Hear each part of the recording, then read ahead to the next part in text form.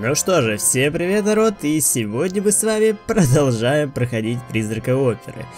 Блин, так давно не было видосов, что я даже забыл свое приветствие, которое у меня было.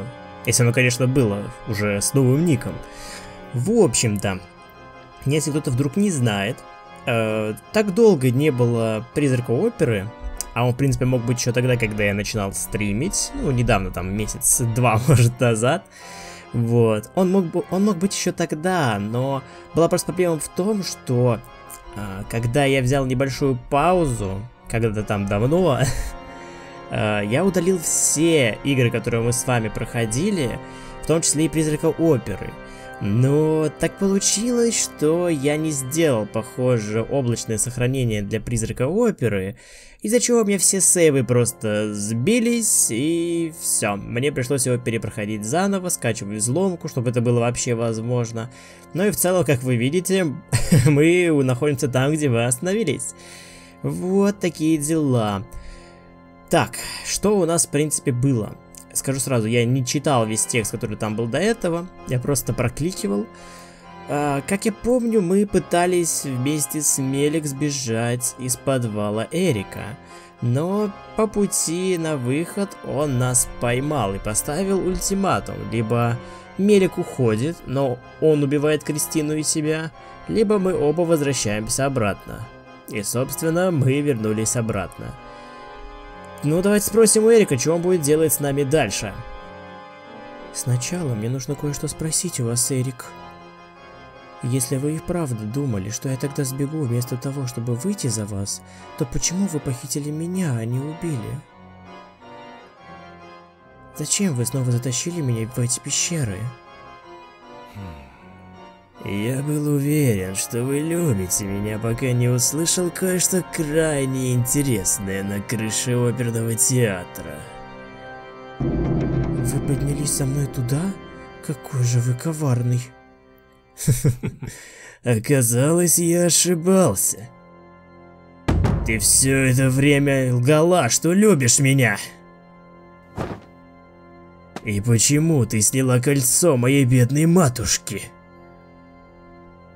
И теперь, благодаря этой ошибке, ты сможешь отведать мою великую месть. О, не переживай, я пока еще даже не начал. Что значит, вы пока даже не начали? Что вы задумали? Это кольцо. Так вот почему я нигде не могла его найти. Что же, Кристина, чтобы отпраздновать возвращение этого кольца, я бы хотел поделиться с тобой историей о моей матери. Видишь тот портрет вон там? Какое кольцо? На чем это он говорит? Он заставил меня носить это кольцо и сказал, что если я сниму его, то он ужасно мне отомстит. Я отдала его Раулю, потому что доверилась ему, но он бросил его с крыши. Боже правый. Кристина, у вас вообще есть мужчины, которым можно доверять? Кристина, хорошенько взгляни на портрет. Ну, портрет порванный. Или просто изуродованный. Не, порванный. Этот портрет. Кольцо на пальце женщины на портрете не давало мне покоя каждый раз, когда я смотрела на него. Угадаешь, чей это портрет, Кристина? Нет, у него же содрано лицо. Моя бедная матушка даже не удосужилась дать мне имя. Наверное, она жила долго и счастлива на деньги, которые ей заплатили за меня в цирке. А, можно об этом не говорить? Ведь эта история до сих пор причиняет вам боль. Но может ли эта боль сравниться с той, когда тебя предает любимый человек? Я не забыл о своих любимых родителях, путешествуя по Европе и по странам Востока. Я не забыл их лица, даже живя тут. Я помню их так же отчетливо, как ты запомнишь ужасный лик торжествующего Дон Жуана до конца своих дней. Эрик, пожалуйста. Я попытался снова попасть в свой старый дом, когда вернулся во Францию. Даже несмотря на то, что земля, на которой он стоял, уже давно отошла Пруссии. Я... я думала, вы родом с Востока. Место, где я не был рожден, где меня не растили и не дали имени. Не кружи голову Кристине своими лживыми рассказами. Должен ли я быть честен с той, кто меня предал? Но все же, Кристина, я до сих пор люблю тебя всем сердцем. Так почему бы тебе не послушать мою коротенькую историю? Выдуманные истории ничего не значат. Но я обещаю, что моя сказка будет самой интересной. Безымянное дитя возвращается домой после всех лишений. Но дом пуст, и его никто не встречает. Они все что, уехали из города? Нет. Они уже давно лежат в своих могилах. Ах, бедная моя семья. А затем я медленно прошелся по дому. Я смотрел на мебель, обои, узоры под потолком, все, чего у меня никогда не было. И знаешь, что я еще там увидел? Ты увидел порванный портрет? Нет, я увидел улыбку своей матери. Я увидел мою матушку, так ясно улыбающуюся мне с портрета. О, моя дрожайшая милая матушка, как сильно я тебя люблю. Эрик, прошу прекрати. Я поняла, что твои родители были ужасными людьми. Но зачем же ты приплетаешь мертвых? Тебе же от этого только хуже. У меня глаза моей матери. По крайней мере, тот, который нормальный. При этом я очень плохо помню ее лицо. Она почти никогда не разрешала мне смотреть на нее. Скорее всего, моя маменька наслаждалась жизнью по полной, купаясь в лучах восходящего солнца, в отличие от ее бедного дитя. Готов поспорить, что после того ужаса, которому она подвергла своего ребенка, она даже не чувствовала угрызений совести. Я не мог спокойно смотреть на лицо моей матери, но я также не мог оставить портрет там. Так что перед тем, как я вывез оттуда всю мебель и забрал кольцо, я подошел к портрету и... Сорвал эту улыбку с ее лица. Кристина, я презираю тебя так же сильно, как люблю. Должно быть, моя матушка была рада, что так и не увидела меня снова до своей смерти. Эта женщина все равно бы не смогла совладать с моей любовью. Я бы сжал ее шею со всей той силой, на которую способна моя любовь.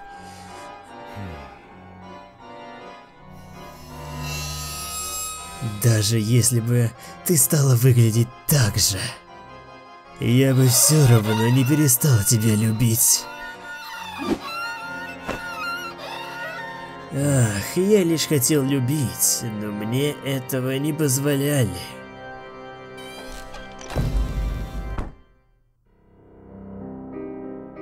Ну, история довольно жесткая, да. Франко-прусская война. Франко-прусская война 1870 по 1871 года Военный конфликт между империей Наполеона III и германскими государствами во главе с добивающейся европейской гегемонией Пруссией, спровоцированный прусским канцлером Отто Бисмарком. Пребывавшая в дипломатической изоляции Франция потерпела поражение. Окончательно мирный договор был подписан 10 мая во Франкфурте – в результате Франция потеряла Эльзас и Лотаргинию, была вынуждена разместить прусские войска на своей территории, а также обязалась выплатить контрибуцию в размере 5 миллиардов франков.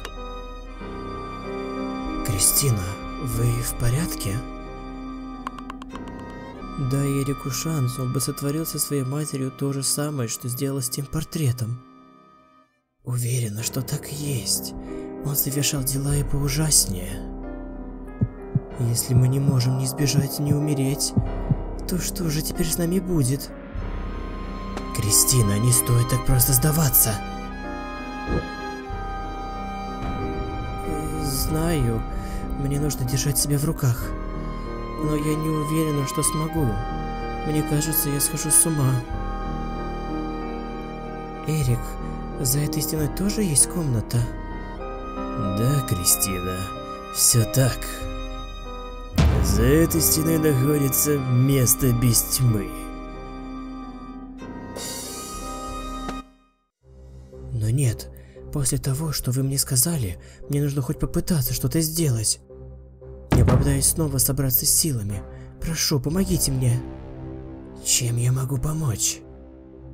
Он упомянул, что за этой стеной находится место без тьмы. Как только он это сказал, у меня побежали мурашки. Я уверена, что там точно что-то есть. За этим шкафом? За этим книжным шкафом что-нибудь есть? Должно быть. Что бы это ни было, Эрик попытался это спрятать. Наверное, за ним есть потайной ход. Полагаю, все может быть. Давайте попробуем его подвинуть. Навалимся на него на счет три. Раз, два, три. Давай, навались. Скрипит, но не двигается с места. Давайте попробуем подвинуть в другую сторону. Давай, в другую. Навались. Нет, совсем не двигается. Наверное, что-то не дает ей сдвинуться с места. Кристина, тут какое-то маленькое отверстие. Не посмотрите? Скорее всего, отверстие под ключ. Похоже на замочную скважину. Думаю, книжный шкаф подвинется, если вставить туда ключ. Может, один из этих ключей подойдет? Внутри находится ключ правосудия, который разделяет жизнь и смерть. Правосудие для тех, кто делает неправильный выбор. Я знаю только об одном ключе, и у него очень странное название. Что-то про жизнь и смерть. Он лежит в сумке. Тогда нам нужно срочно найти эту сумку. Что-нибудь в этой комнате кажется вам подозрительным? Э, хороший вопрос. Но учитывая, как он любит все прятать за картинами, скорее всего за какой-то из них. Рама этой картины. Эта рама привинчена к стене сильнее всех остальных. Это показалось мне очень подозрительным. Вы пробовали за нее потянуть? Нет, но сейчас попробую. Есть тут что-нибудь острое, чем можно ее поддеть? Не думаю. Придется делать это голыми руками. Что? А вдруг вам станет больно? Если это наш единственный путь отсюда, то я буду продолжать тянуть. Но я не думаю, что там прям сильно эта картина закреплена. Какие-нибудь такие легкие держатели. Так больно, но я справлюсь.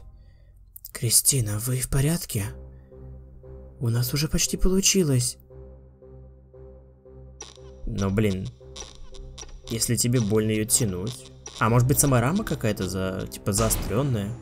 Ай, я поранила руку. Но я не хочу, чтобы Мелик переживала. И она отошла. И там будет реально сумка это лежать? Тут так темно. Мне ничего не видно.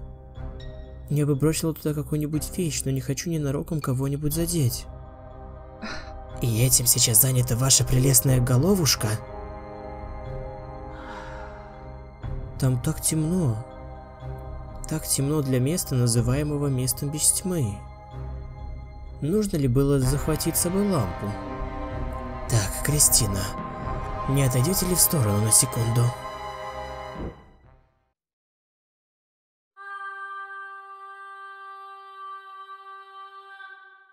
Зачем так шуметь? Я попыталась узнать, насколько большое это помещение. По характеру эха я могу определить примерно размер этой комнаты и материал, из которого сделаны ее стены. Просто невероятно.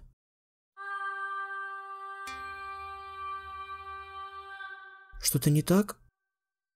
Крепитесь, Кристина. Стена. Здесь ничего нет. Никакого потайного прохода. Лишь глухая стена. Что? Так, что это? Эхолокация. Эхолокация – способ, при помощи которого положение объекта определяется по времени задержки возвращений отраженной звуковой волны. Животные, например, летучие мыши и дельфины, используют эхолокацию для ориентации в пространстве и для определения местоположения объектов вокруг них. Люди также используют эхолокацию. Конечно, людям не требуются дельфиньи способности издавать ультразвук, да мы не способны к этому. Однако принцип работы механизмов, которыми мы пользуемся, позаимствован у дельфинов. Любой звук, будь то удар трости об асфальт или цоканье языком, создает отраженную звуковую волну. Потом звук доходит к нам в мозг и дополняет нашу картину восприятия. Если вы цокнете языком в поле или у стены, то точно услышите разницу. Эхолокация помогает людям со слабым зрением вновь увидеть мир вокруг себя, помогая снова понять форму и размер предметов, а также расстояние до них и даже материал, из которого они сделаны. Возможно, люди этого и не подозревают, но многие способности мы унаследовали от наших братьев, меньших, но это очевидно. Это очевидно и понятно. Нет, тут должен быть проход. Если прохода тут больше нет, это все моя вина. Мы выбились из сил лишь по моей прихоти. Нет, не стоит отчаиваться. Я не отчаялась. Но сейчас я даже не хочу думать обо всем этом. Я слишком устала. Эрик никогда не изменится. Какая глупая я была, когда думала, что могу помочь ему измениться. Кристина? Почему вы стали так тихо разговаривать? С меня довольно. Как я могу помогать другим, если даже себе не в силах помочь? Такая я дуреха. Столько сил на это положила. А оказалось, что тут тупик. Голова кружится. Мне нужно отдышаться. Кристина? Кристина. Так, теперь мы играем за Мелик. Так, Кристина. Кристина... Ми... А, блин. Так, надо сразу все вот это вот пролистать, потому что пока я перепроходил игру, я вот это вот все не листал. Так что поэтому какой-то факт, который мы сейчас должны были узнать, мы с вами, к сожалению, не узнаем. Потому что я не знаю, где он должен быть. Так, ну вроде у всех все пролистал, поэтому давайте подойдем к Кристине. Кристина, вы в порядке? Прошу, ответьте. Кристина сказала, что очень устала. Нужно было заставить ее отдохнуть. Проклятие. Да я скорее умру, чем попрошу это исчадие о помощи. Но он не обрадуется, если Кристина погибнет. Мне нужно спасти ее любой ценой. Что мне делать? Эм... Ну, учитывая, что Мелик не хочет общаться с Эриком, ну, спасти без спроса. Мне все равно, насколько дело плохо. Я в жизни не попрошу помощи у этого демона. Но сейчас я не в силах ничего предпринять. Что делать с тем, кто упал в обморок? Проклятие. Нужно было научиться основам первой помощи. Похоже, у меня нет выбора. Придется ждать, когда она очнется. Я хотя бы могу помолиться, но вдруг мы верим в разных богов. Она все еще дышит. Хвала небесам.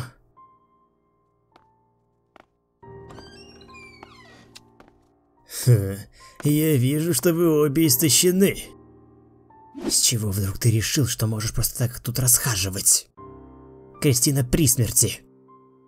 И все это твоя вина. Она хотела покончить жизнь самоубийством? Так не пойдет. Мне она еще нужна. Ты все еще должна сыграть свою роль, Кристина. Ты моя величайшая любовь и самый заклятый мой враг. Какую роль? Ты еще что удумал? Ты что, не слышала меня ранее? Скоро начнется моя великая месть.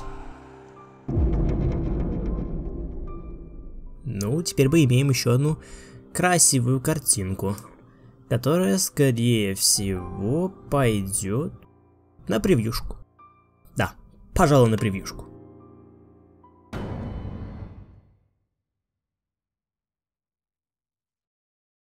Так, картинку мы уже посмотрели. А, Мелик Эрик. А, блин. Тут тоже не почитаем, я понял. Ладно. Так, прошу прощения, что кашлянул. Потому что у меня еще вот не проходит кашель, из-за чего я долгое время сидел э, и ждал, пока у меня придет кашель. Потому что я в какой-то момент заболел, причем очень сильно. И в тот момент у меня не проходит до сих пор кашель. Уже прошел почти месяц, а кашель все еще не проходит. Поэтому если буду время от времени кашлять, то уж извините. Тайный ход. Было три тайных хода, известных мне. Однако оперный театр закрыл два из них.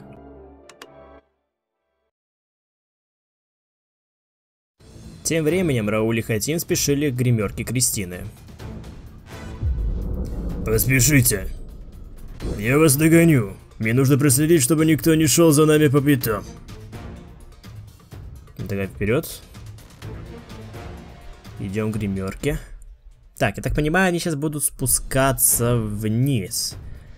Кристине и Мелик. Тут заперто, месье Дорого. Думаете, вы сможете открыть дверь? Не переживай. Я снял копию с главного ключа оперного театра как раз для подобных ситуаций. Открывай давай. Давай, давай, открывай. Да, блин. Я думал, только у директоров есть доступ к главному ключу. Сейчас не самое лучшее время думать об этом. В любом случае, мне нужно проверить вас и понять, здраво ли вы оцениваете сложившуюся ситуацию. Не самое лучшее время для проверок, не доходите, месье Дорого? Понимаете, я люблю быть уверенным во всем, за что берусь. Вы никак не могли знать о потайном ходе, который ведет систему пещер под оперным театром. И? И в чем проверка? Ну, проход здесь. Тогда, в день маскарада, я отчасти узнал о секрете этого зеркала. А он внезапно появился из-за него, схватил Кристину и сгинул без следа. В самую точку. Вы пробовали трогать зеркало? Нет, с тех пор я сюда не заходил. А что, мы можем им управлять? Думаю, будет лучше, если я научу вас открывать его самостоятельно. Стукните посильнее сюда, а затем вон сюда. Ну давай. Так. Ага. Ага. Ага. Ага. Да блин, что-то тебе слишком длинно. Ну ладно. Все, дверь открыта. Потайный ход, сокрытый за самым обычным зеркалом. Кто мог проложить этот ход? И главное, когда? Это тоже его рук дело? Нет времени на болтовню. Нам надо спешить. Давай заходим. Пока не забыл, я хотел кое-что вас спросить, месье. Я сомневаюсь, что вы влюблены в Кристину, да и она, возможно, знает вас лишь как перса из оперного театра. Зачем тогда вы помогаете мне спасти ее, если учесть, что мы с вами едва... Если учесть, что мы с вами едва знакомы? У вас что, какие-то личные счеты с... Э, с ним? Я не могу сказать, что ненавижу его. Но я больше не испытываю к нему прежней симпатии. Я уже простил его за то, что он со мной сотворил. Нам пора.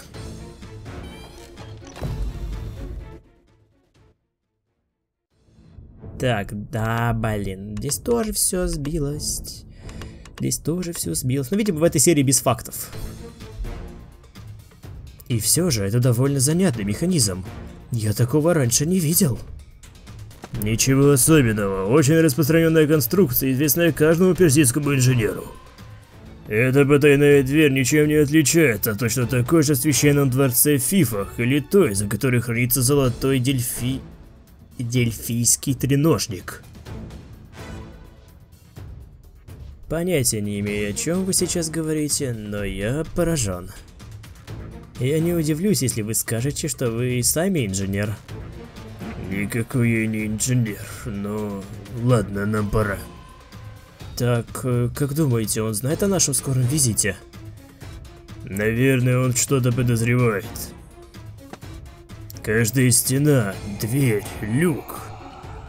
Все здесь ему подвластно. Поэтому его и назвали мастером ловушек. Получается, Эрик и создал все эти ловушки. Все так, Викон Дышанье. Так значит, нам предстоит побороться с крайне могущественным противником. Нет, в конце концов, он всего лишь человек. И я собственноручно прикончу его. Долго еще до логова Эрика? Идти еще порядочно. Держитесь рядом, тут очень темно.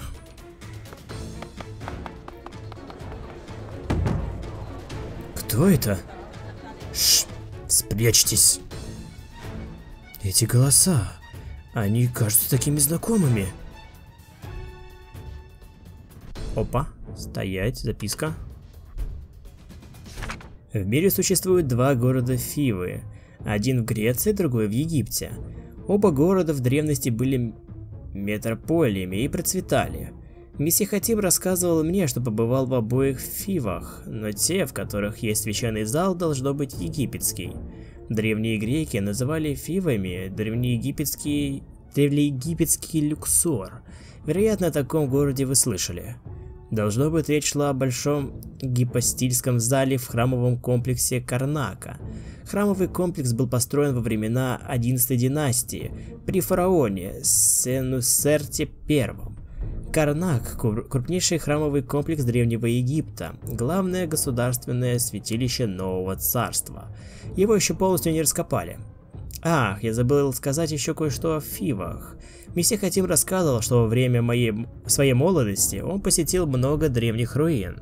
По его словам, он ездил на них не истории ради, он просто очень любил архитектуру. Но Хатим же был полицейским. Полицейские вообще разбираются в архитектуре? Может, он просто турист-любитель? Ну, скорее всего, просто, ну, не знаю, там, увлекался этим, например. Просто нравилось. Хм. Хм. Там внизу что, кто-то лежит? Скорее всего, это его рук дело. Ну... Слушай, глаз надо быть на чеку. Комиссар, мы не можем объяснить, что тут произошло. Но ужасно то, что инцидент со светом произошел из-за того, что осветители уснули во время представления. Э, всему виной призрак. Верно. Маклер обожает нюхательный табак. Эта табакерка может послужить уликой. Боже, какое совпадение. Нет, постойте, это просто не может быть совпадением. Может быть, всему виной тот странный запах, о котором говорила Кристина? И тогда я тоже нюхаю табак. Э, очень интересная зацепка. Я знал. Не стоило им оставлять это комиссара Мифруа. Нам лучше оставить их и пойти по своим делам.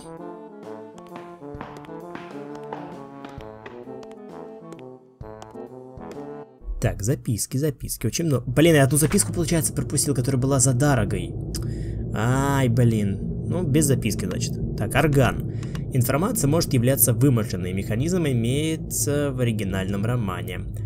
Хоть название этого устройства и похоже на название настоящего музыкального инструмента, орган, описываемый в романе, не является таковым.